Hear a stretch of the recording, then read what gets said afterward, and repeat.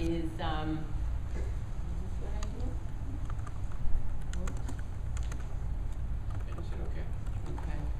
Um, my piece of the work is called the National Center on Immigrant Integration Policy, and, uh, my background, uh, is mostly actually, uh, in New York for about fifteen years. I ran the, um, the large statewide coalition that had about three hundred member organizations. A lot of them would be the groups that you all are, uh, familiar with, and, uh, we did a, a lot of work, um, focused on, uh, how, uh, the success, how are immigrants and refugees being incorporated, uh, into the, um, into the fabric of communities. And so my work now has been trying to work at the national level, uh, looking at, um, the incorporation of immigrants and their children into the, basically into the mainstream of society and, um, all of the rough edges around that. So, um, so I figured, I'm sorry, I'm gonna be, is it all right if I stand here or how, how bad is that? All right. Uh, so I figured that, um, Maybe just. a little bit more, sorry, a little bit more on that, and want me to press the slide, Well, it straight up? it's, uh, yeah, maybe, Do you want me to do the slides for you? no, because they're all animated, so it's gonna be Oh, like, there's, well, there's a lot of pressing, that's all. Sorry. Uh, So, um, so anyway, so I figured from the title, National Policy, Local Impacts, that, you know, the reason it's set up that way is that the big controversy is that the national policy is unhinged from the local impacts, and that really is pretty true. Uh, and so that's, you know, that's the source of, um, of, uh, of uh, all sorts of uh, conversations all over the country. So what I'm going to try and quickly move through is the um, a little bit about rates and numbers, um, just to set the stage. Then um, a little bit about recession effects. Um, uh, speak speak then um, a lot more about what are some of the responses that are happening to local impacts because that was part of the charge to us as speakers. You know, to say, well, what you know, what actually um, are people doing to try and uh, deal with the, with the local impacts in a um, in a constructive or a responsive way.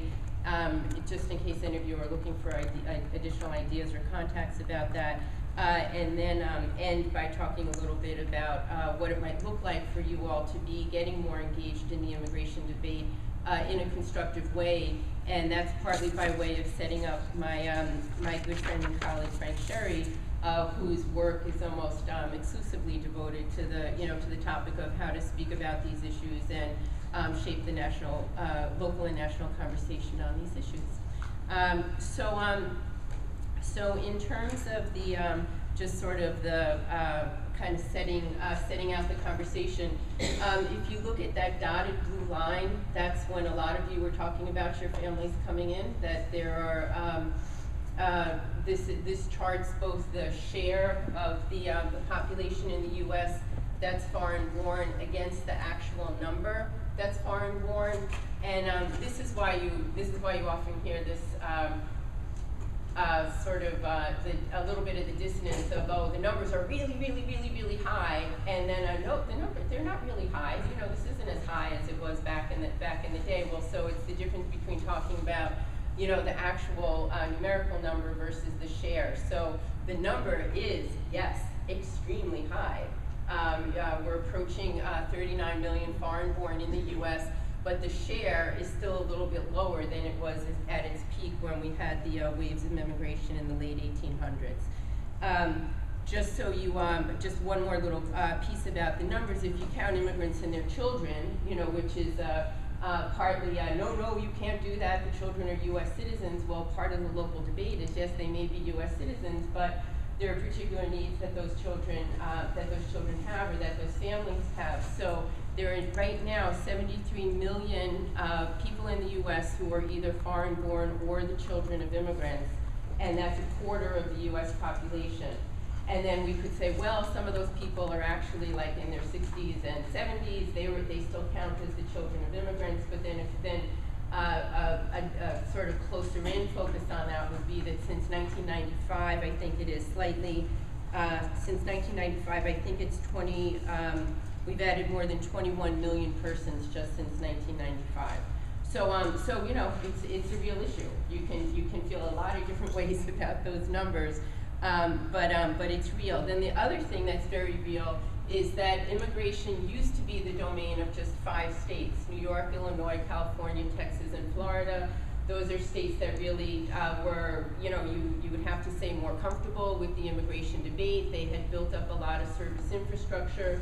Um, you know, uh, uh, many mayors in New York used to talk about how, you know, why is the rest of the country so upset about immigration? We're the ones who've been doing the work for the country for all these, you know, hundreds of, uh, hundred plus years of, of integrating, making Americans uh, out of immigrants who were coming in. But now, uh, particularly in the last 15 to 20 years, this has been a debate for, for much of the country. And as you can see, there's a real clustering of the spread of immigration into the southeastern states and into some of the, um, uh, the southwestern and Rocky Mountain states. And uh, I don't know if you can read that, but the, the deep blue states are the ones with um, a million, a million and a half plus immigrants. And these other states are those that had 200% or higher growth in the last 15 or 20 years. So, um, so some folks in Congress, when we show them this, uh, sit there and just start naming the names of all the senators from those states who are dead set against immigration and really, um, you know, very much uh, leading the charge a lot of times uh, uh against immigration reform measures. Um, I'll just say, say personally that uh, I do a lot of work on education issues, um, particularly early childhood and K-12 and also adult literacy and workforce. And it really struck me uh, uh, doing a roundtable uh, for southeastern states about the changes that their school systems were experiencing a few years ago. And we were uh, uh, speaking with folks who I think were from Georgia and Tennessee, and they were telling me that they didn't even have a degree for teaching ESL education until something like the year before.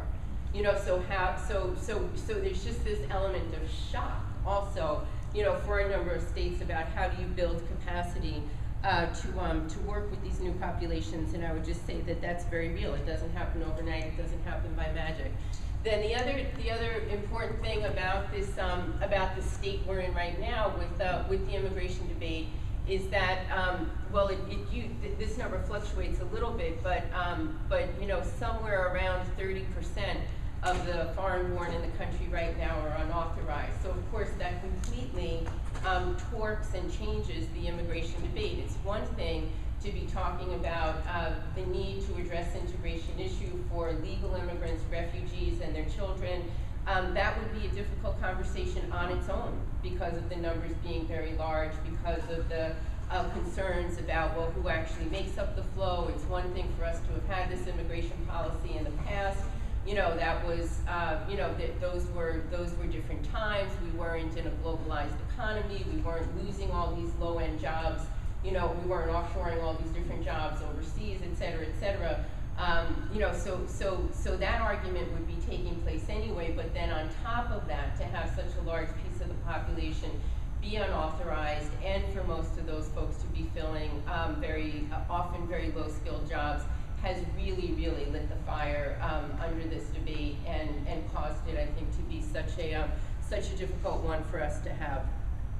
Uh, I should also say, looking at that uh, percent that are naturalized citizens, you know, that's also, that's also a bit the inoculation that as more and more uh, immigrants are actually becoming enfranchised with the vote, it is forcing a little bit more of a, um, of a balanced debate uh, in, a, in a number of parts of the country. So just to, I wonder if you could just go back to that slide and just quickly uh, define legal temporary versus legal permanent. Uh, legal temporaries, folks who are here um, on uh, on visas where they're like allowed to work uh, for five years. Um, you know, they come in on what are called non-immigrant visas, so they're they're legally here, but they, they just aren't. Um, most of the most of the folks who were there under uh, are legal permanent residents are folks who, for example, a family member would petition for them uh, to come in, uh, but legal temporary tends to be more the um, the workflow. Is that right? Yeah. All right, so then just a tiny bit about the recession. So um, that that um, that's a squiggly line is just the growth of the foreign-born population. These are all months from January uh, up until um, November of last year. This is the period of the technical recession, and as you can see, the numbers of um, of uh, the the growth numbers are down through that period. Uh, but now they're back up again. So this is another source of the controversy that uh, on the one hand, yes, um, uh, immigration is somewhat sensitive to the economic cycle, but most of that drop off in immigration during the recession was that no new, pretty much no new unauthorized people were coming in. Uh, those who were here mostly stayed in place, but because a large chunk of the immigration system is in fact on automatic pilot, uh, people when they have their visas finally come due and their family members are able to join them, uh, immigration just continues. And you know, one of the criticisms is that the immigration the immigration flow is mostly driven by the decisions of immigrants and their family members. Uh, you know, and this is the legacy of the system that we set up. That we thought of it as a human capital system. That we were we were bringing in, you know, we were bringing in uh, family members because we thought that uh, that, that, that by having your, um, your family there to help you be settled, you know, that that was actually, that was actually the best way to run the system. Or maybe this is a looking backwards uh, rationalization, and I know that as part of how the Canadians were thinking about their system, that, um, that human, the human capital being there with family members was what was going to allow you to actually do a better job of settling and integrating you know, increasingly a number of the Western industrialized countries that are really in the immigration business are, are interpreting that differently now and saying that the human capital is much more about what the person brings with them in terms of their education, for example, and that's why a number of those systems are moving more to point systems that give you a little bit of credit for having family members, but much more credit for being younger, speaking the language of the country, having higher degrees, or filling particular uh, places in the workforce. Um, so, um, so, so now, uh, what I, what I mainly wanted to, um, to talk about was, all right, so what, um, you know, what are some of the, um, the local responses, um, to these, um, to these issues? And forgive me, um, you know, that you, you may already be aware of them, but I just wanted to do this in order to set the table. So, one of the first places that, um, that localities feel the impact is through law enforcement, because, uh, as soon as, uh, law enforcement entities start to encounter, um, immigrants, you come up with the question of immigration status. What do you do if you pick up somebody who's undocumented? Uh, what do you do if somebody doesn't have a driver's license or the forms of ID that you're normally used to, you know, to um, to seeing from individuals? And so, um, so a, a, lot of the initial issues, or, or one of the first agencies that really needs to respond is law law enforcement. The second place where we see a lot of um, uh, a lot of, of action uh, clash um, uh, difficulty is around the issue of language diversity. Those of you, I, I think you're all in the social services, human services field. Um, obviously, this is a really big issue for you. Let me just say that um, one of the things my shop does is work very closely with folks who are in social service agencies on how to deal with language diversity issues. Um, we, uh, we've set up something called the language portal on our, on our website. Lots of folks uh, from both social services, law enforcement, disaster preparedness, uh, and K-12 have been giving us documents, and, and it's almost exclusively people who are in government agencies that we're working with, and so their questions are more, you know, what kind of language should I put into a vendor contract so that I make sure I'm getting, you know, that, that I can get my money back if they give me a crummy, you know, a crummy translation. Uh, how much should I be paying for an hour of Urdu, you know, translation? You know, what are people paying for um, uh, as a um, uh, for a bilingual uh, bilingual caseworker? You know, what's the differential, et cetera, et cetera. So it's that sort of stuff that this is targeted towards. So I thought maybe for you all that that you know, and then and then it's very interesting. Some of these folks are working in places um, like New York that have a language access ordinance, and so they're just charging ahead because they have the power of a local law behind them and other folks are thinking, oh my God, I just have, you know, HHS in Washington breathing down my back, and I'm afraid I'm going to have a civil rights complaint. But I'm being called before the state assembly or the city council because they're furious that we're giving translations and, you know, we have an English only ordinance, you know, et cetera, et cetera. So it's a real range of folks, and, and part of it is, well, how do I at least make sure that I don't look stupid, you know, and I, and I don't look like I'm doing the wrong thing and that I'm wasting money um, you know, since there's a, a, fair amount of hostility in some places around providing those services. Um, a third major area is, um, is uh, studying up and figuring out immigration status service eligibility rules.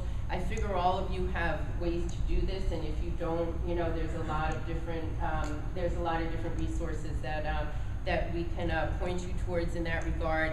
Um, and then, and then obviously, um, often you wind up, um, you wind up having to deal with uh, different types of um, community relations issues.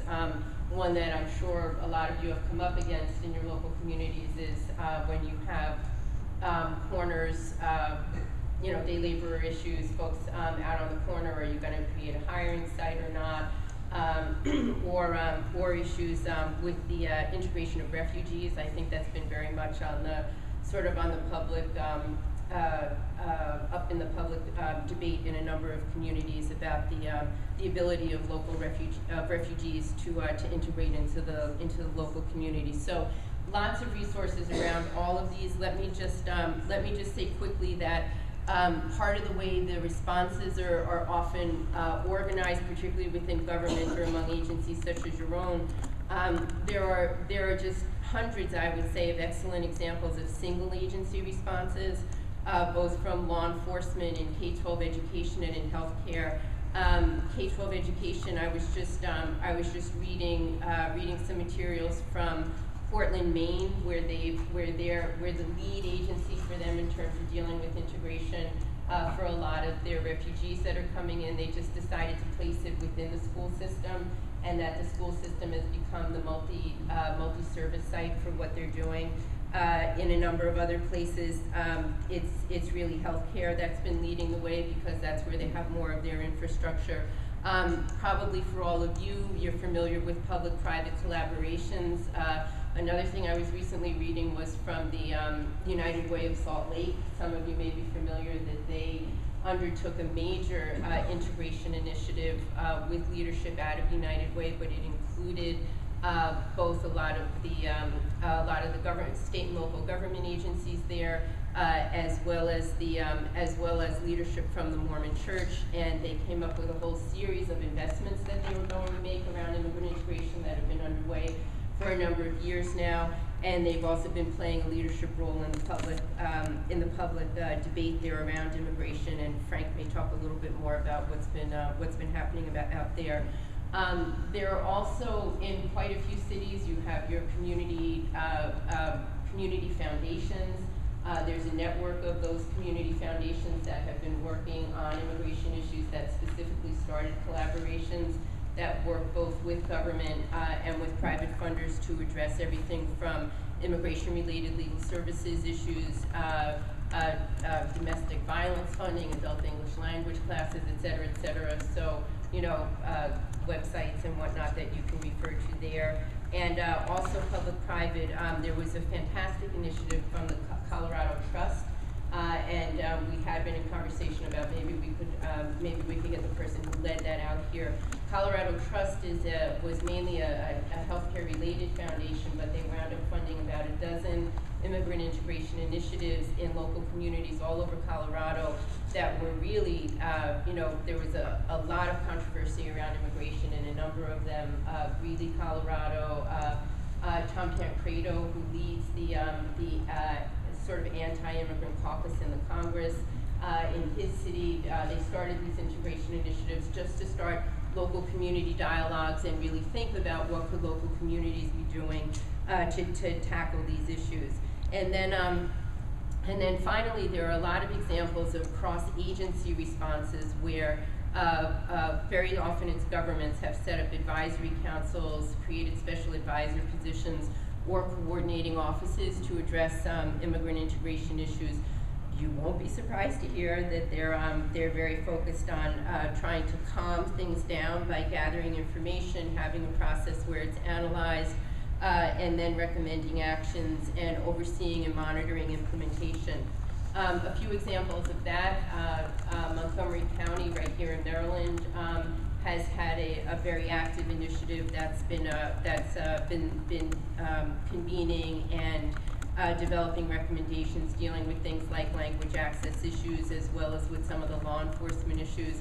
Very significantly, a number of states have done this in a formal way. They have created uh, immigrant integration executive orders, and then uh, those states include Maryland, Illinois, Massachusetts, um, Washington State, and New Jersey and uh, and those those those set into motion statewide processes that looked across agencies that convened people uh, that talked about you know what was the federal federal share in a number of these key issues what should they be looking for from the federal government but what could they be doing at the, uh, at the state level? So, um, so this is all just to say that there's, there's a lot, uh, out there, so if you would, you know, if you're interested in hearing more about these, um, we can, either Frank or I, uh, can be in touch with you on email and would be happy to share, uh, because a number of these initiatives really do have, um, there's a fair amount out there about them. Uh, the likely leaders on these are often executive offices, either governor's offices or mayor's offices. You're all probably familiar with the, um, idea that there are these mayor's offices of immigrant affairs in quite a, in a, in a good number of cities. Um, Illinois, I know, has a state level governor's office, and I just wanted to say a tiny bit more about Illinois because your colleague Ed Silverman was the one who originally, uh, was, um, behind the concept, I believe, for this panel. And as the state refugee coordinator, um, often, often you find in almost, I think every single state has a state refugee coordinator. And since they're the one formal person often in government that whose job has something to do with the foreign born, they wind up being the place that a broader um, conversation about immigration uh, is built around, and that's exactly what happened with Ed out in the state of Illinois.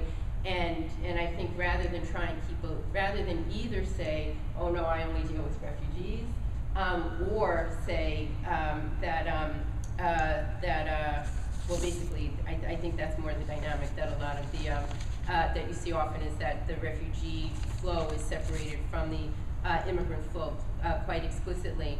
Um, but but uh, in a number of states, the immigration piece is built onto those offices, and I think it played a very productive role in uh, in inviting uh, the immigration conversation into state government, uh, creating a lot of resources that people could use, creating quite a few uh, convening processes that brought people together to talk about the impact of immigration in the state.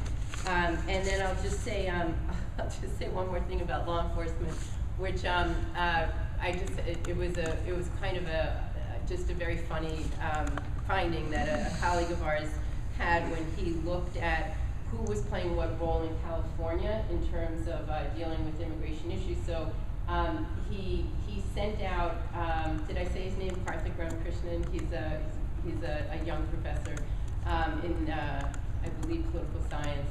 Um, and he uh, so he sent out a survey to about 300 local governments in uh, in California, and he sent it to the mayor, um, the head of the city council, and the police chief in all three of these jurisdictions, and said, well, so uh, you know, how are you handling the impact of immigration? Um, for example, what are you doing in terms of uh, accepting driver's licenses? You know, uh, what do you do when you encounter people who are undocumented, et cetera, et cetera? And uh, probably like two thirds of the mayors and the city council leads said, no, we have no policy, and oh my God, you know, what are we going to do about this? And um, and and you know, some enormous percentage of the police chiefs just very quickly and clearly answered, you know, this is what we do. And so it really became clear that in many cases it was the it was the police chief that was actually creating the policy, you know, because it was such a real and vivid issue for them. and the other interesting thing is that um, if if your lead local law enforcement person was elected, um, this this isn't proven, but it certainly seems to be when you when you you know when you uh, when you look at this at least. Um, you know, in a in a in a cursory manner, that um, that if if you, if you're an elected police chief, um, it's a much hotter debate. You're much more afraid, you know, and you play much more to the crowd and to the electorate. Uh, whereas if you're, it's a professionalized um, position and appointment, uh, it's a much richer conversation, much more balanced. you know, sort of, uh, well, what's my role in terms of protecting the community versus trying to get myself elected and, and playing to the least common denominator. Okay, so now that you've seen that there's all sorts of trouble that people at the local level are going to, trying to figure out how to deal with these implications, and of course I hardly even went into it, you all know from your jobs that this is such a you know, complicated um, set of services that you're trying to think about, you know, um, any of the education issues, any of the social service issues. There's really so much going on as, as folks at the local level try and deal with this. So um, you might be saying, uh, so the federal government realizes this, right, and they've got our back. Um, and um, this is just not be saying this is just to say um, that, of course, the um, you know the idea that the feds were going to provide leadership on this, if anybody uh, really thought that was going to happen, Um, I would say that this is pretty much where we're at, you know, that the, and where we have been, I would say for what, 10, 15 years? you know, that we're, that it's strictly about the politics of how do we, you know, how do we say we're controlling the border?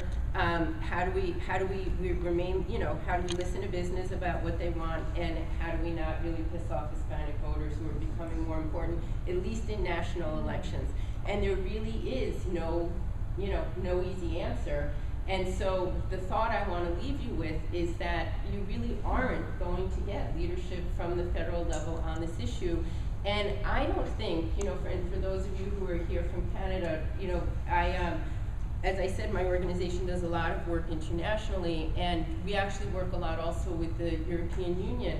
And it's very explicit even there at the European Union level that this is not a competency of a national level government. That immigration has so much to do with your local labor market, your local economy, et cetera, et cetera, that they would never dream of saying that this was a, that, you know, that, that this was something that a, a national government could competently execute. So I think that's the bind we're in right now, is that we have this long history, you know, first of all, a, a pretty laissez-faire attitude, you know, well, we're, you know, we're gonna put this system in motion, you know, we promised particularly when we changed it in nineteen sixty-five that it wasn't gonna have any appreciable impacts. Well, you can see from that graph, it has some very appreciable impacts. And then, you know, for, for hundred fifty plus years, we've said, for either, you know, hey, you're the one who wanted to be here, I don't know you anything, or, you know, hey, this is all gonna work, you know, like we're this magical country, everybody becomes American, you know, we have enough room for everyone, you know, et cetera, et cetera. And so the, in, the, the collision now, you know, between that, you know, th- that sort of uh, philosophy about the immigration system and the sort of economy and the, you know, that we're in now and the very, very large and diverse country that we are has really made this a very complicated thing to get out in front of. So what I would say, just as you think about your, the immigration debate or your role in it, is that currently you really only have two off-the-shelf options in the, in the national debate. One is it's all good, and the other is it's all bad. And there is nothing but pain and misery for any politician who tries to be in the middle and say, you know, well, maybe, maybe, maybe it's both, or maybe it's, maybe it's both at the same time in one community, uh, or, you know, maybe it's, maybe it's really good for some places and not so good for others. And my example of that is from all, in my work in New York, before I got into the immigration issues, I was just in city government, and we had had a, a major um, process over a many-year period to deal with racism in the construction industry in New York, because the construction industry was pretty much determined never to hire an African American in New York City. So we had all these commissions and all this work we did to try and address that, um, and that was in the late 80s and early 90s. And then when immigration really picked up again, boom, the construction industry just leapfrogged over any black person, not just African American, but also Jamaican and immigrant uh, descent, and went right to right to the Latino and other immigrant population. And so what we were saying in city government at the time was, gee, like we're pretty pro-immigrant, and we see the value of immigration. Why can't we have an immigration policy that gets us no day laborers, right, or no people that are going to come in into that industry, and a lot more home health attendants? And so I tell you that for 20 years I've been thinking the same thing as I look at the immigration debate. You know, why is it that you're just so left to be so passive at the local level and that you can't play any role in this? Um, so, um, so one of the things that, um, that, that, I, that I think we're, we're seeing, and, and part of, I do a lot of work with National League of Cities, and they're always telling me, please come in and just tell us the truth. You know, like, like there's all these conflicting things that people are saying. What's the one true thing? And he's saying, well, look at all of you. You know, first of all, we have 300 3,000 counties in the U.S. We have over 10,000 cities. I think we have something like an additional 8,000 towns and villages. Look at how smart everybody's tried to get over the last 20 years about their economic development, you know, um, processes, how they're transacting all that business. I think part of that is the good effects of the workforce, and you know, we, uh, I know that there's, you know, all sorts of ways in which it's not really working, but I feel like everybody's had to get so smart with what's been happening in terms of their local economies, the way they're losing jobs, you know, how are they going to outcompete other places, et cetera, et cetera. So when you think about how all of that knowledge locally is completely ignored, and we're just sprinkling a million people based on the decisions that immigrants and their family members make around the country every year, of course, it's not gonna be something that is gonna work well for everyone. And yet, how do you keep alive the idea that A, we have humani- uh, we have a humanitarian obligation, uh, you know, we, we're, we're part of this ar- around the world in terms of what we're, you know, in terms of our, uh, what, our commitment to refugees. Secondly, we still do have an obligation to immigrants and their family members on some level. What is that obligation?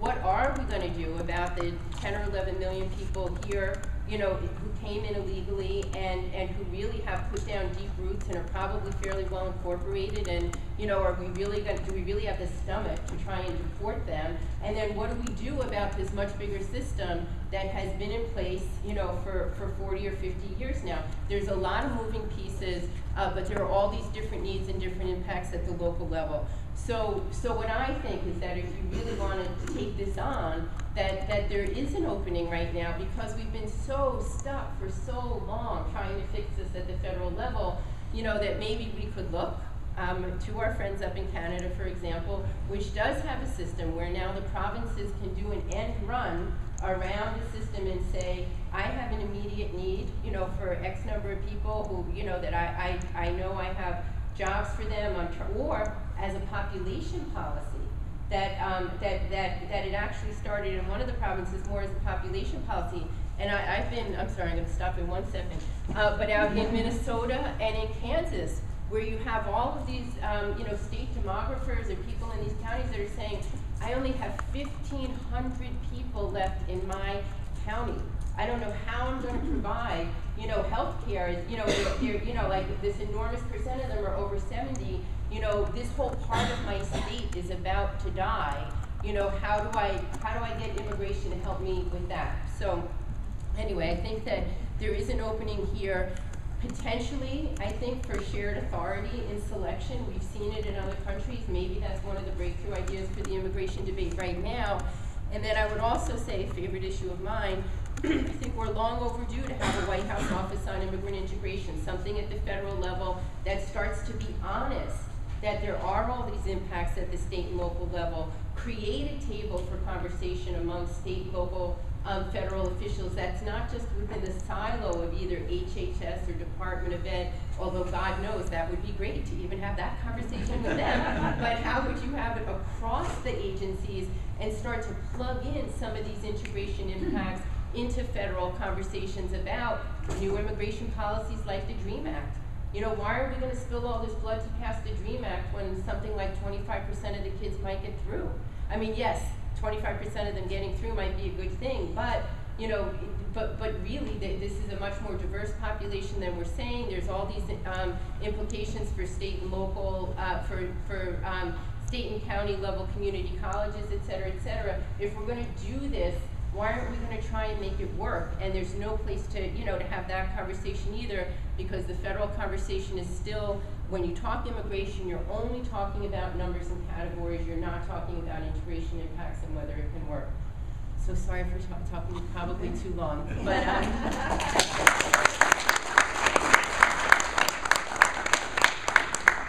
All right, wow, thank you so much.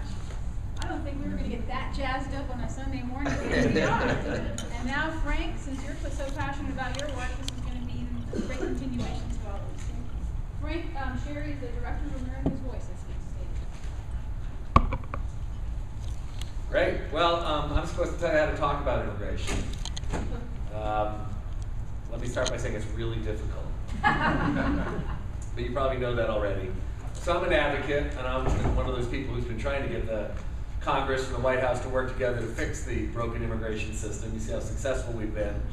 Um, but uh, and there's a reason why it's been so hard. It's because this debate, as you know, generates more heat than light, and it's very difficult to navigate public opinion and the strong feelings and the passions that arises. I should tell the story. I, I was working in the Boston, Cambridge area in Massachusetts as a local advocate and service provider and was asked by a friend of mine to address a bunch of uh, state officials, state, that they worked in welfare offices or across the state.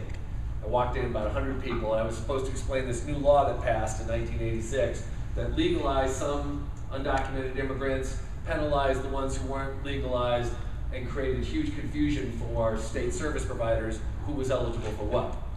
And so I was trying to explain federal law as if I was responsible for it. and, and this crowd erupted on me. I was literally in the middle of my first paragraph, and somebody stood up. This wasn't the Q and A section, right? stood up and said, "How come they're all on welfare?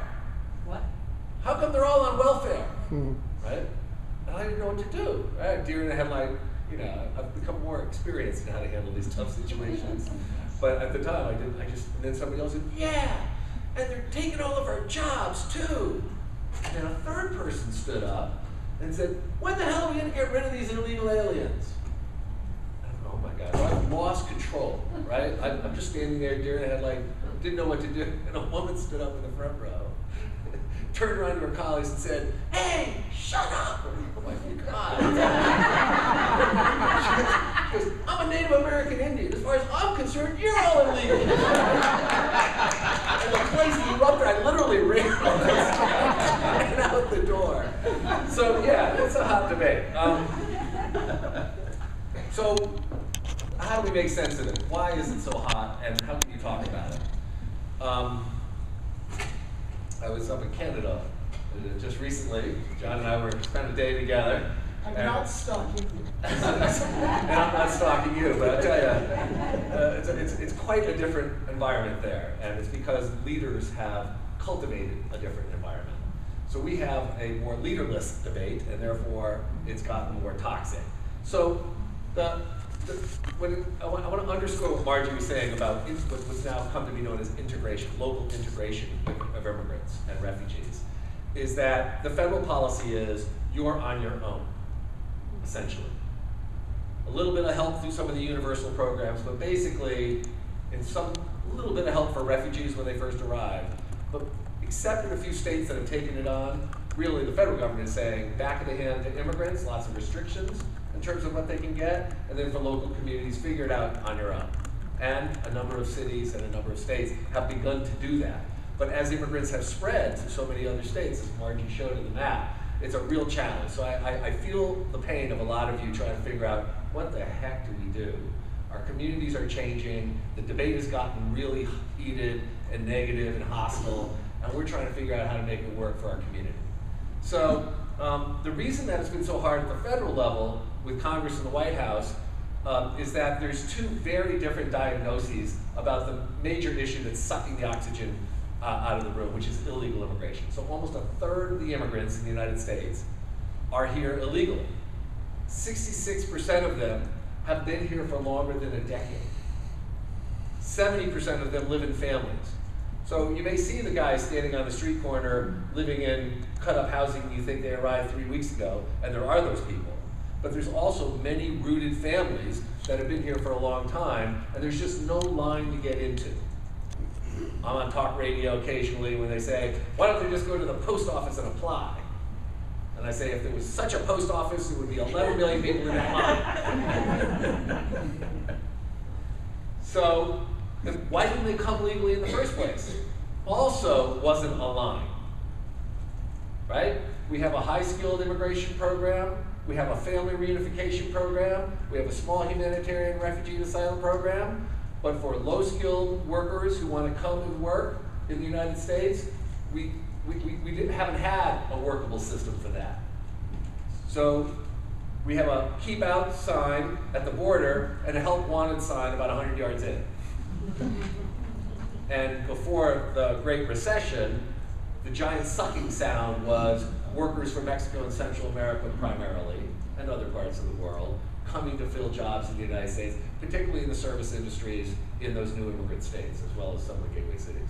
So you've had lots of folks coming, many of them coming illegally, no federal policy to deal with it effectively, and no federal help to local uh, communities trying to make it work. You know why we say the immigration system's broken? That's why. A legal immigration system, as Marty points out, that's on autopilot. Hard to say it's really responsive to national interest now. It's just been locked in place, and because of the paralysis of Washington, it hasn't been reformed. this is because, in large part, so anyway, so the policy debate is it's like two very different diagnoses and prescriptions. One says these are bad people who have broken our law, and the law's good. The other side says, is my side, these are mostly good people subjected to really bad laws, so we need to change the laws. So one side says, bad people build a wall, mm-hmm. have cops ask for papers when they stop people, right? Let's try to force them out of jobs and housing if we can. Let's deny services. Let's make life so miserable that people, the people that we don't pick up and deport, will pick, pick up and self-deport. And the strategy is called attrition through enforcement. It is what many Republicans now in Washington are for. They want people to go home. The other side, a fractious, lively movement for reform that Cheryl Little and I and Margie know very well.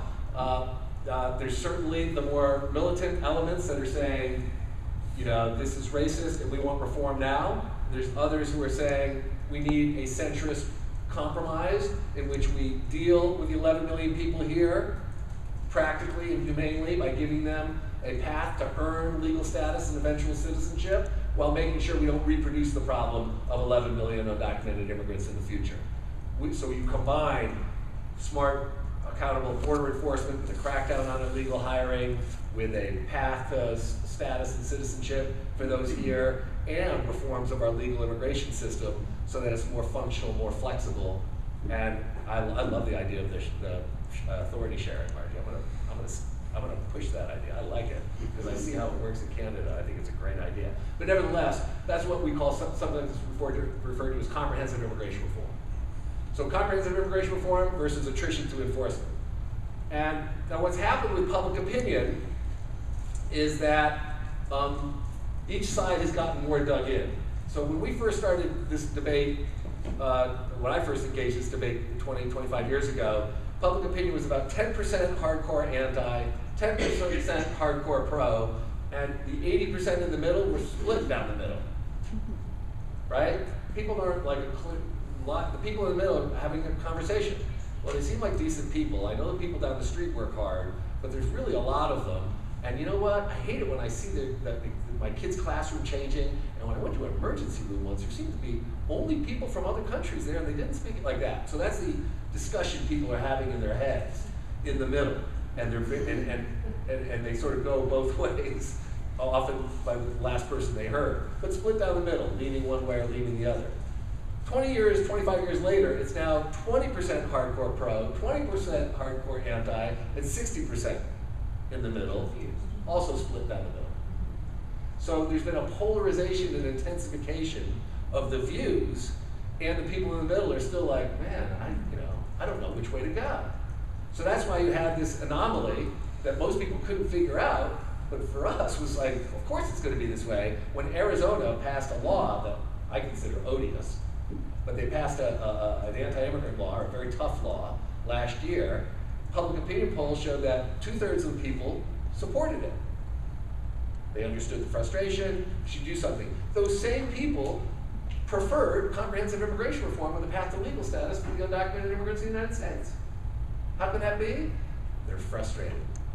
They want action. And they're basically going to accept whoever takes action. Folks in the middle. They are frustrated. So, how do you talk about immigrants and immigration? Let's say you're with a planning council.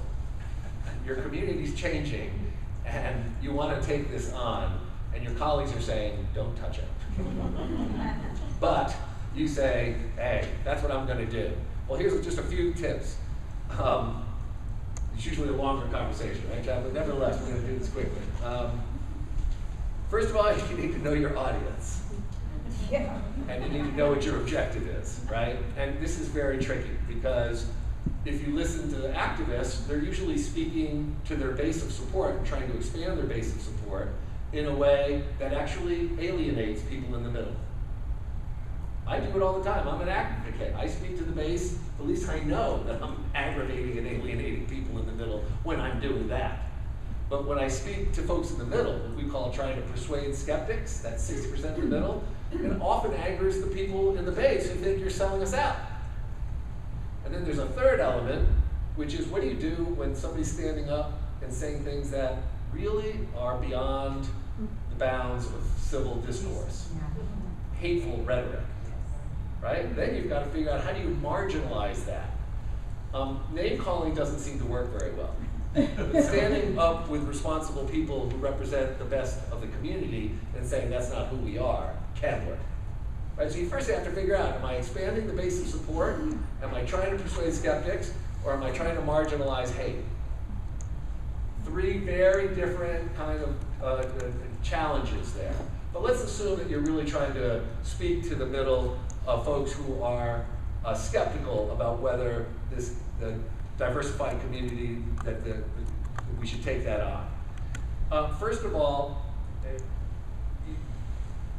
it's, it's very important to talk about uh,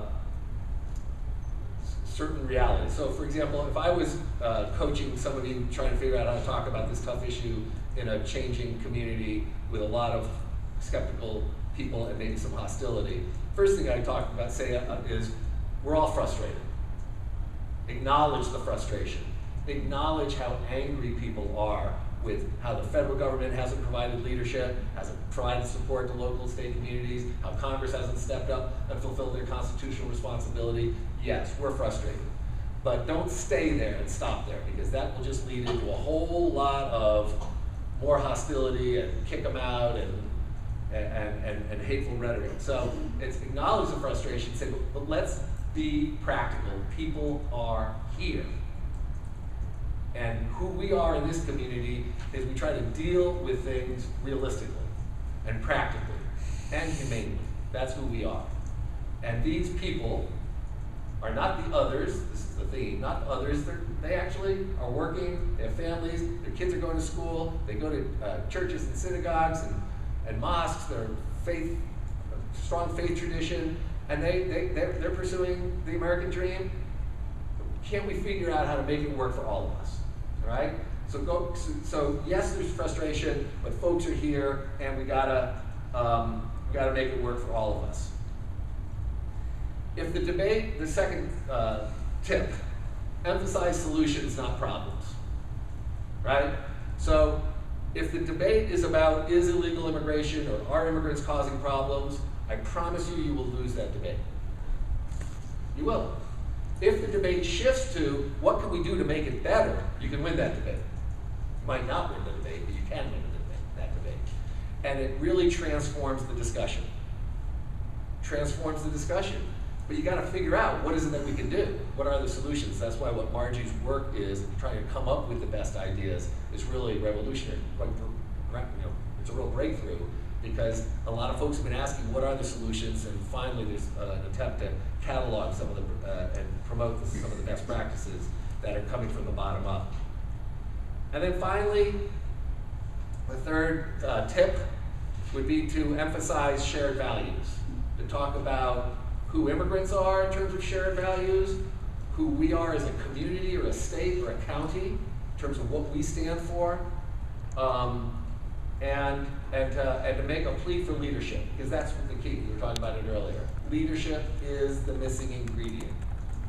And it takes a lot of guts to run to the gunfire on this one, and it's the only way forward towards solutions.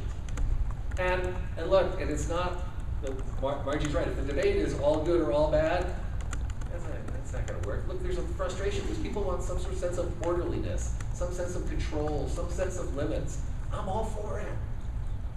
But I'm also for dealing practically and humanely with people in our community that are saying, you know, that are here. And, and if we just ignore it or say that somehow we're going to make them disappear magically, that's not realistic, nor is it humane. So talking about who we are as a community, who we are as a county, what we stand for, how we're going to make it work for all, is a very powerful turbocharger of practical solutions that make it work for all, dealing with people who are already here. So um, this is a big, messy debate. You know this. You know, I, I have family too. I, I go to I go to family reunions and family dinners. you know, there- there's that there's that you know, Aunt Margie down the end of the table says, Frankie. My nephew Frankie, what is it that you do? and I, it's, it's gonna start. It's I know. So uh, I work uh, on a public policy issue. what? What issue? Immigration. Ah, for Christ's sake. I get it. You know, um, it's hard. It's difficult. It's challenging, and it's necessary. It's necessary that we have the kind of guts and leadership that leans into this issue in a way that pushes for solutions that are in line with our values and deals realistically with the fact that our communities and states have changed. But we got to make it work for all. So thanks.